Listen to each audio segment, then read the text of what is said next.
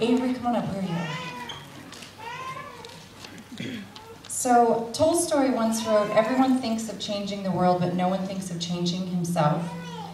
The thing that really strikes me about this young lady, Avery, is the fact that at 10 years old, she was able to make a concrete decision to do what adults three and four times her age often struggle to do, change. She was well aware of her behavior during her early years at Monroe Elementary School.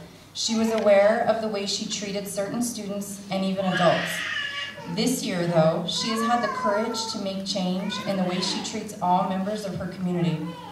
As a result, her peers enjoy spending time with her, and we all embrace her happy, spunky personality.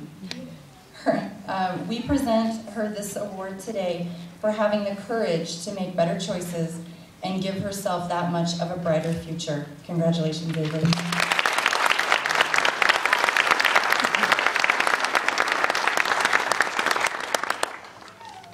Next school be